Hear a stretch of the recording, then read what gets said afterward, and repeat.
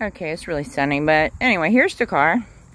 I'm going to show the back damage first, what goes along with my story. Okay, it's dirty, so don't mind the dirt. Okay, I said something hit the back. All right. And that sun's so bright, I hope I can get all this. Okay, there's like literally scratches like right here. And I have them in a photo there too. I'll be sending. And there's scratches here. It's like there and there. And I would say those are like claw marks. And this, this part of the window. Hope I, it's so sunny out here right now. This damage here, um, that happened that day. I mean, it's like literally into the uh, glass. You can't wash it off or scrape it off. So whatever smacked, it did there.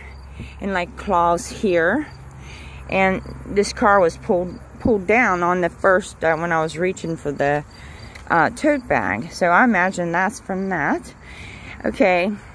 Later on there's a crack in that windshield. I hope this is picking it up.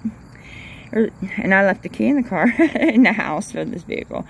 But um, there is where the crack started and, and it happened literally in the driveway and it this happened literally um, like a a month later, and maybe even up to two, because I feel the stress from that heavy creature, whatever it was, demon on top of my roof, it it made the crack.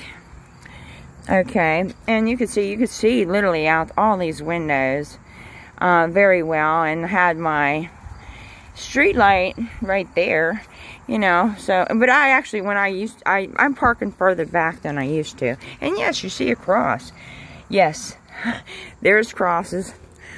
I wear them. I, I'm protecting myself any way I can, really, honestly.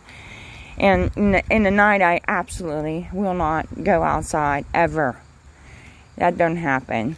All right, I am so short to get dent damage. I don't know if this is picking up anything or not because literally the sun's out and, and I can't see. But there is literally dents all down through here I can see and and I if I walk around the backside there's an incline here. I I literally can't get the dents on the top but I have photos my son you know he took in the night and it looks like I can see some dents here a little bit. But there's a, a lot more of it there. And I don't know. I don't know if we're seeing anything here but there is dents. I'm just, right now I'm short. I was looking for a step stool. Um, I would say that's it. So, I, I don't know. You know, something made these marks. And, and, and to me, I mean, that was like a wide span. Whatever th this is. And the car at that time um, was recently uh, painted. So, you know, there wasn't, at the time, no marks at all. It was like really, you know, shiny and clean, whatever. And, uh, yeah. I would show you around. There's a lot of wooded area. And down there at the end of the driveway, uh, across the road, there's a mailbox past, you know, there's bushes and stuff. And yes, I haven't been able to trim up stuff lately. So stuff's a bit of a mess here. But down that road, uh, just nothing but woods and stuff on each side. It's, it's creepy here at night. Yeah, but somewhere over in this neighborhood here is where um, that witch uh, had lived on this side of the road. And in the description uh, to old Mulderry, um, she she lived here, and this is where it was explained, you know, to be. Anyway, I've seen my boyfriend. He's over 300 pounds. I I literally uh, have, he can get in this vehicle. It don't push down on the shocks at all, even when he gets in.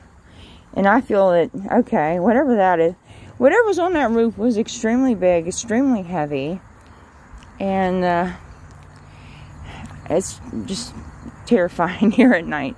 But I, I am really terrified to walk from, uh, I make sure I'm home by dark. Let's just put it that way, before dark. Alright, now that's all I got. But here's that crack from here, so yeah. And this is from here. I mean, just in my driveway. I don't know what the heck's going on. Yeah? Alright. creepy. I'll stop this.